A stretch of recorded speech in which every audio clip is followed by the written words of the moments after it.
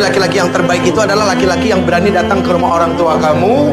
Dia pasang wajahnya baik-baik dengan orang tuanya lalu dia ngomong ayahanda, bapak, om saya suka sama anak om. Saya nggak kepengen lama-lama saya pengen ibadah.